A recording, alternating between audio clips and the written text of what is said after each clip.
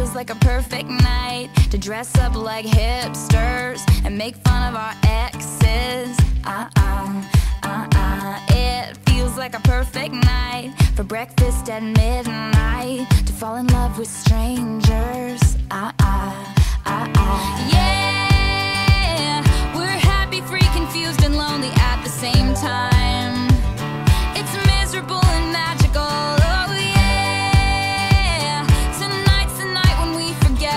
the deadline.